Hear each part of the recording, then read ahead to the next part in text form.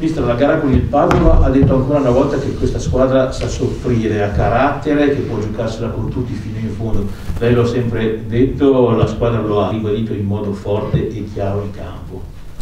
Sì, dalla partita col Padova usciamo sicuramente ancora di più con la convinzione che le nostre armi, le nostre qualità possono mettere in difficoltà chiunque, anche una squadra molto forte come il Padova. È chiaro che poi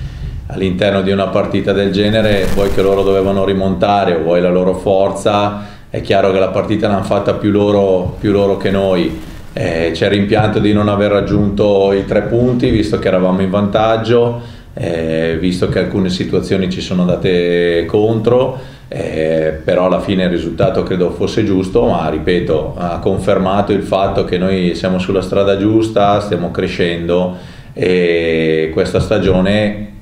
siamo competitivi veramente con tutti e anche con le squadre di vertice. La classifica continua chiaramente a dire questo e noi dobbiamo cercare da, da domani con la San Benedettese di, di, di, continuare questo trend positivo di prestazioni che la squadra sta facendo in modo encomiabile perché poi alla fine ha, ha, questi, ha anche questi valori e anche in emergenza come domenica scorsa e come saremo domani dobbiamo tirarli fuori.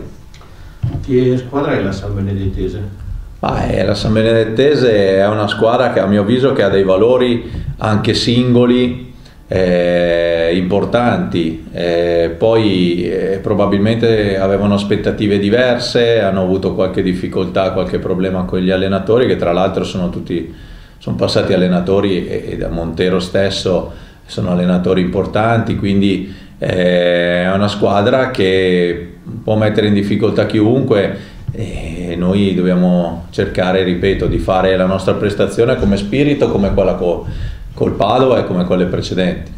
Situazione Malomo e Marchi, a parte Gatto, Dogo e Fink, gli altri come stanno? No, Malomo è a disposizione, lo era già parzialmente domenica scorsa eh, col Padova, questa settimana si è allenato a pieno ritmo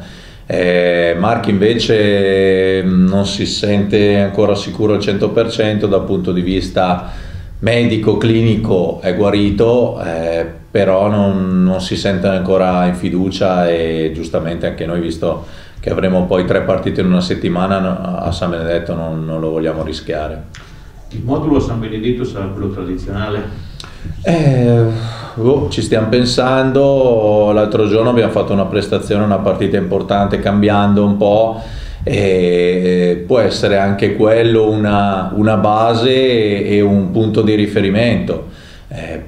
però noi siamo cresciuti, abbiamo fatto bene, siamo arrivati dove siamo arrivati con una nostra identità